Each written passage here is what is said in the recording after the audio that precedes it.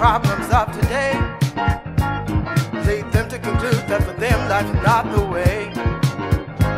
But every problem has an answer if yours you cannot find. You should talk it over with him, he'll give you peace of mind. When you feel life's too hard, just to go have a talk with God.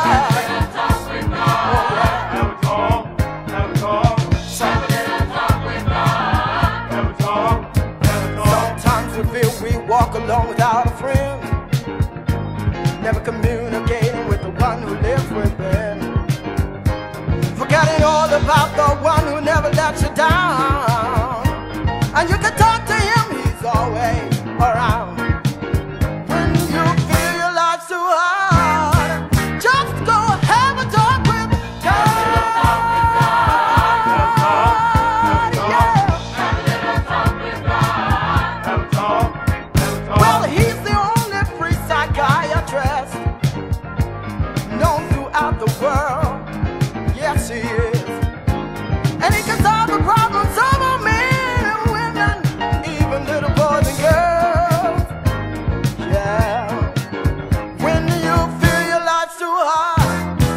Just go have a talk with.